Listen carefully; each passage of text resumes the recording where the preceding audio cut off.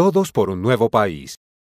En el marco de una nueva jornada del presidente de las regiones, el Ministerio de Comercio, Industria y Turismo se trasladó hasta Paraguachón, en la zona de frontera con Venezuela, para escuchar las inquietudes de los empresarios de la localidad. Un grupo de funcionarios de la entidad, encabezados por el presidente de Bancoldex, Luis Fernando Castro, sostuvo un encuentro con representantes del comercio tanto de esta población como de Maicao.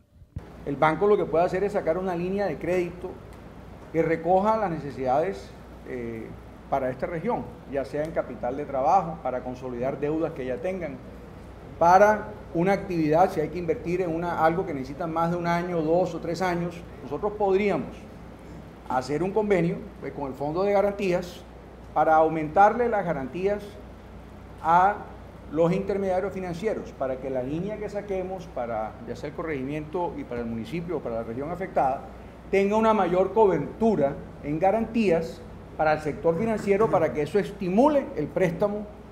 a los empresarios. En la jornada participaron el alcalde de Maicao, el gobernador de La Guajira, el director de la DIAN y representantes de la Polfa, entre otros. El propósito era de venir a escuchar a los, todos los empresarios, comerciantes afectados por el cierre de la frontera, eh, así como atendimos Cúcuta, vinimos a darle la cara a estos empresarios y salieron varias iniciativas y tenemos que atender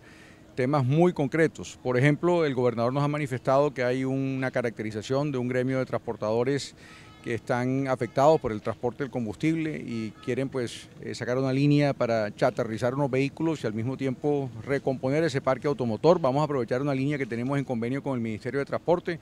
para darles acceso a crédito para que se cumpla ese propósito. Todos por un nuevo país.